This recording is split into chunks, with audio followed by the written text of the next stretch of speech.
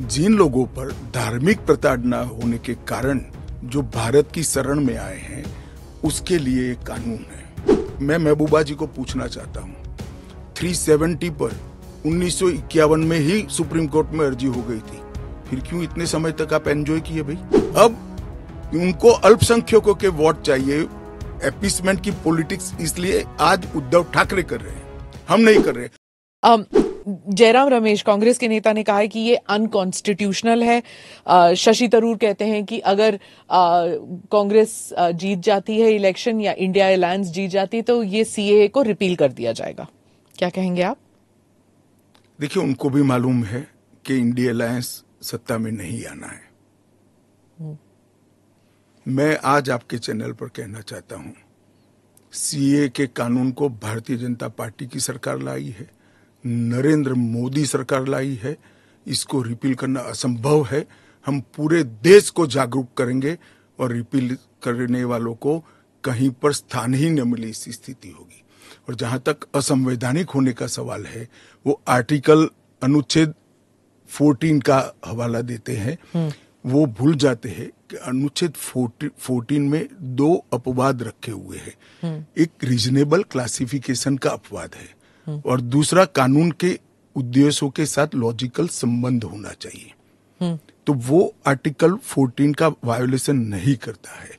इसमें reasonable classification बहुत स्पष्ट है कि जिन लोगों पर भारत के पुराने हिस्सों में आज वो विभाजन के कारण देश से कटे हैं अफ़गानिस्तान पाकिस्तान और बांग्लादेश में जिन लोगों पर धार्मिक प्रताड़ना होने के कारण जो भारत की शरण में आए हैं उसके लिए एक कानून है हम्म।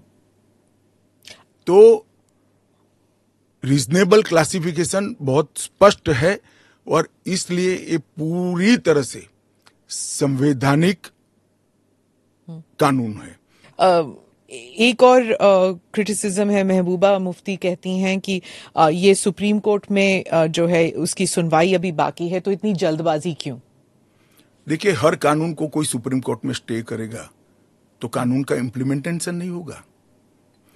सुप्रीम सुप्रीम कोर्ट के सामने न्याय मांगने के लिए जाना हम्म। और सुप्रीम कोर्ट ने स्टे देना दो अलग बात है।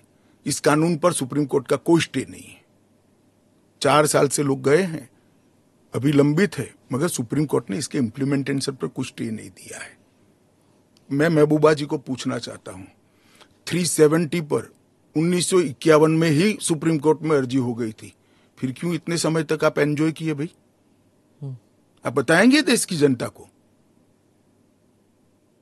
जब तो, आपके पक्ष की बात होती है तब नैतिकता के पैरामीटर्स बदल जाते हैं। ऐसे नहीं होता है।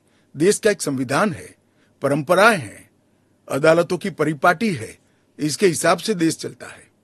वो संविधान के बारे में बात करें तो यूबीटी जो ग्रुप है शिवसेना की वो कहते हैं कि आपकी विफलताओं को छुपाने के लिए आ, मेरा आप... मेरा उद्धव जी से रिक्वेस्ट है हम्म। कि कानून चाहिए या न चाहिए वो स्पष्ट करो पहले क्या उद्धव जी बोल सकते हैं कि कानून नहीं आना चाहिए हम्म। मैं आज उनका आह्वान करता हूँ देश की जन, जनता के सामने महाराष्ट्र की जनता के सामने स्पष्ट करे कि सीए नहीं होना चाहिए हिंदू शरणार्थियों को बौद्ध शरणार्थियों को जैन बौद्ध और क्रिश्चियन शरणार्थियों को नागरिकता नहीं मिलनी चाहिए। एक बार उद्धव जी स्पष्ट करे जरा। आपका इशारा आई वॉस आप कर रहे हो। टाइमिंग का सवाल तत्व का क्यों चर्चा नहीं करते हो? आपका इशारा बाल ठाकरे की तरफ़। नहीं मेरा तो उनकी ओर है। बाल ठाकरे साहब तो अब रहे नहीं। वो स्पष्ट करे। क्योंकि वो पहले बोलते थे जो नहीं पार्लियामेंट में भी बोले हैं। हम्म। अब उनको अल्पसंख्यकों के वोट चाहिए। एपिसमेंट की पॉलिटिक्स इसलिए आज उद्धव ठाकरे कर रहे हैं। हम नहीं कर रहे। हमारा डे वन से स्पष्ट स्टैंड है।